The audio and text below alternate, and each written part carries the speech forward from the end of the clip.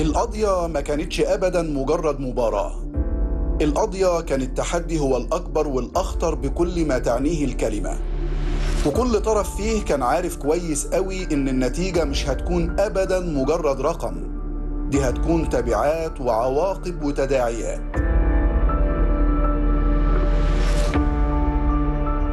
التاريخ كان شاهد عيان على تفاصيل التفاصيل ورصد اللي هيحكيه لجيل بعد جيل. وإزاي إن الرهان هنا مش حسبة تخسر أو تفوز؟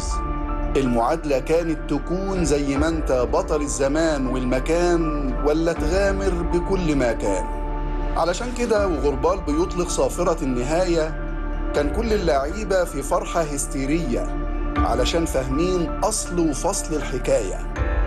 الحكاية ما كانتش مباراة ودي صافرة النهاية.